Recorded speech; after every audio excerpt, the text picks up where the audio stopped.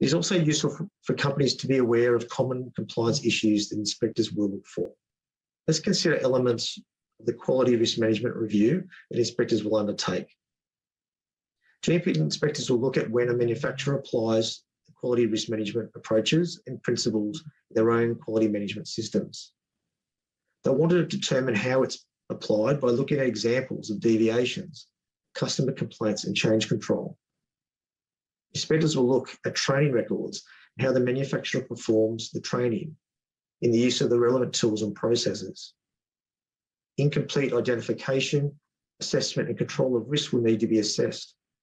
They'll want to verify that the manufacturer is able to identify, assess and apply controls to specific risks that have actually been experienced.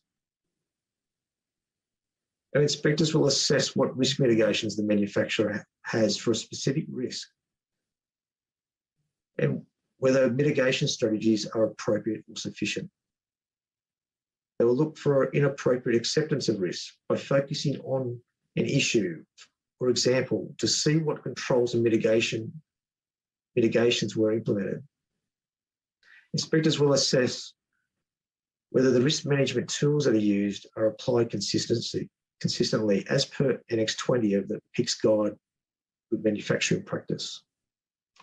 And they will seek to determine if there's a lack of awareness of risk processes by questioning staff and reviewing sample risk assessments to see whether the manufacturer has considered all risks for an issue. The GMP inspectors will also assess whether the risk mitigations that the manufacturer has documented are effective or not. So issues should be assessed for effectiveness and documented.